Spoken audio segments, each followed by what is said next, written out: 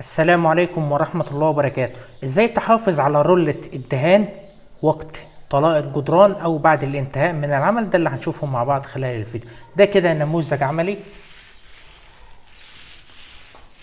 طبيعي الدهان بتاعك بيكون لسه طري بنفس الطريقة فأنت محتاج إن أنت تحافظ على الرولة محتاج بستلة وتحط فيها الرولة بنفس الطريقة كده.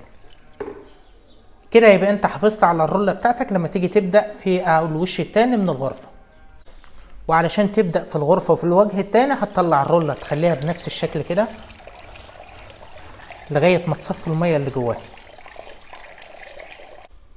كده الرولة أصبحت جاهزة معاك إن أنت تقدر تدهن بيها الوجه التاني. علشان تحافظ عليها بقى هتبدأ تغسلها كويس بنفس الطريقة في المية.